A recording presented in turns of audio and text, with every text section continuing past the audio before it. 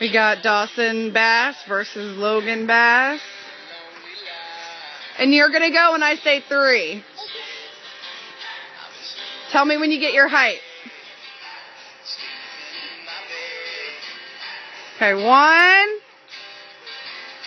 two, three.